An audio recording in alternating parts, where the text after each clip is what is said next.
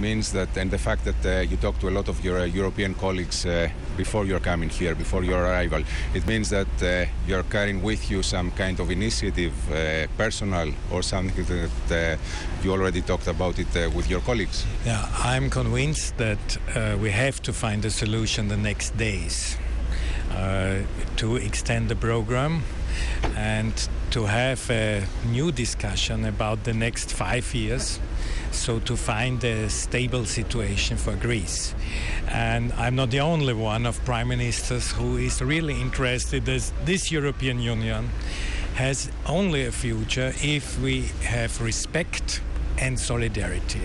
And therefore, Jean Claude Juncker, who is the president of the Commission, has to find a compromise institution with Greece, with the government, and we have to support this process. And if there is a result, to support this result because time is running out, and so it's important to find a solution the next days.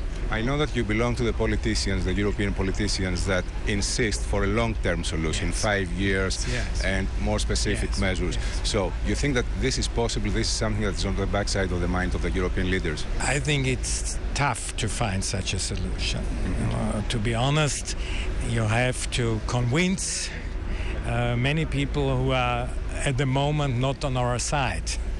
But I'm totally sure that if you don't have space and time for a midterm, uh, uh, five years, for example, period, then you cannot find investments. Because if you say one of the most important thing is fighting unemployment, you need investment. And if you invest Greek company or an Austrian company or another company, uh, they have to be sure that's a stable country for the next five years and not these uh, weekly or monthly uh, meetings of crisis. So it's important to find this way because if you ask people what's your main concern, it's the concern not to have a job, uh, it's the unemployment rate, it's uh, the fear that you cannot go to a hospital because uh, you have not an insurance, and so I think this is the only way.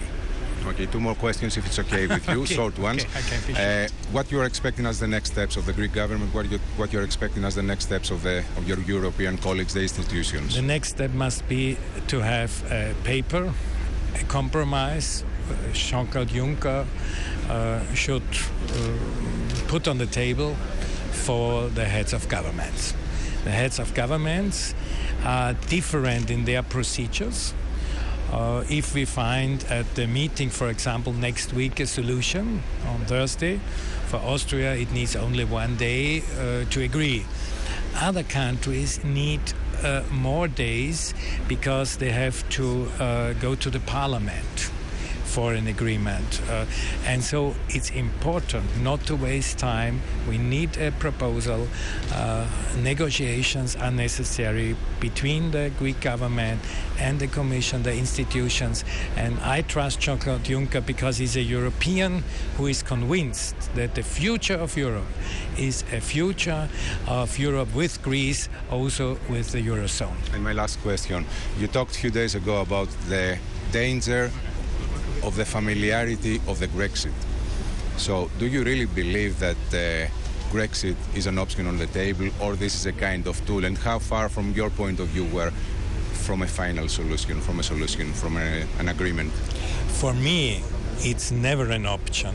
Grexit is never an option for me because I believe in solidarity and in the future of Europe together with Greece in the Eurozone.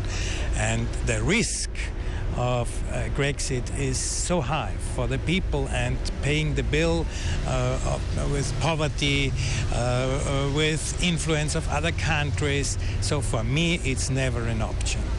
Uh, so we have to avoid it, and so we have to uh, don't waste time to negotiate to find a solution very fast. Mr. Thank you very much. thank you very much. Thank you indeed.